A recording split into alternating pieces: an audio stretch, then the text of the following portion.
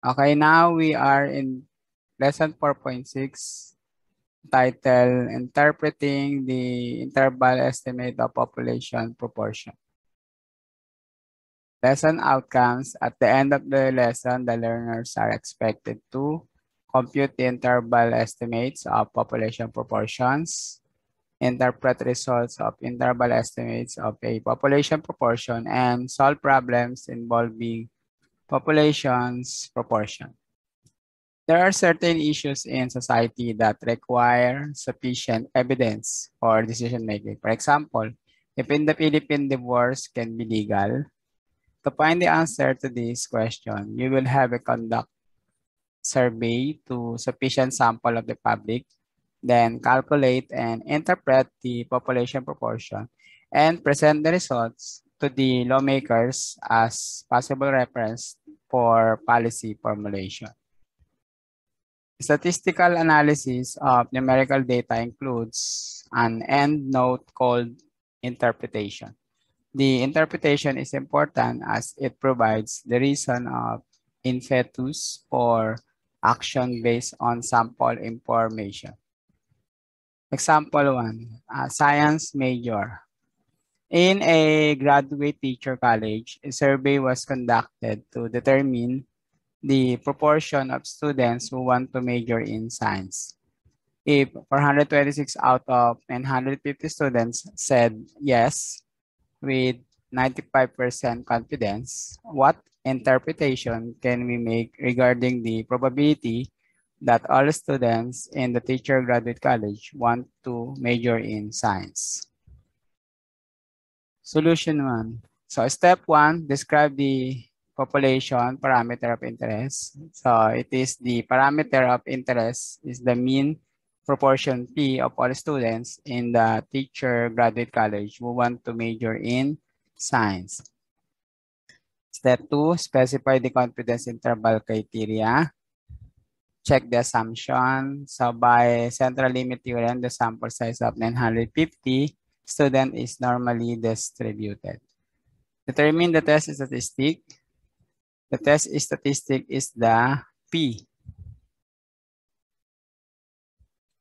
State the level of confidence, 95% confidence level, so the alpha is 0.05. Confidence coefficient is 1.96 Step three, collect and present the sample uh, evidence. So the sample information, a given X is 426 uh, and the small n is 950. Again, find the point estimate of uh, P uh, using the point estimator P hat equals X over N. So X is 426 divided by 950, then we have 0 0.448 and rounding up, so we have 0 0.45. The point estimate of the population proportion is 0 0.45 or 45%. Step for compute the interval estimate, find the Q hat. So it is Q hat equals 1 minus P hat. And 1 minus 0 0.45 is 0 0.55. Find the maximum error of estimate using the square root of P hat times Q hat all over N. And P hat is 0.45. So we have square root of 0.45 times Q hat is 0.55 divided by N 950. And it is 0 0.016. Then find the limits. For the lower limit, we have P hat minus the error times the Z sub alpha over 2. And for the upper limit, we have p hat plus uh, z sub alpha over 2 times the maximum error E. And for the lower limit, we have uh, 0.45 minus 1.96 times 0.016 less than p less than the upper limit p hat plus or 0.45 plus 1.96 times 0.16.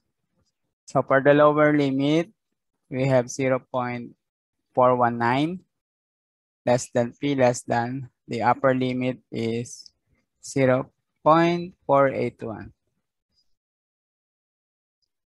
And describe the results. We have thus the 95% confidence. We can assert that the interval from 49.9% to 48.1% contains the true percentage of all graduate students who want to major in science. And the last, yung tinatawag nating interpretation. This means that the repeated construction of confidence intervals, approximately 95% of all the samples would produce confidence intervals that contains the true population proportion, P. The interpretation may lead to a course campaign improving the school environment for science majors, and so on. Interpretation depends on the importance of the solutions to emerging problems. And that's it. And ito yung ating magiging practice. A nutritionist want to know the population proportion of grade 1 learners who eat vegetables, PEG, at a confidence of uh, 95%. A survey among 1,200 respondents was conducted and 200 said that they eat vegetables, interpret the data. And that's it.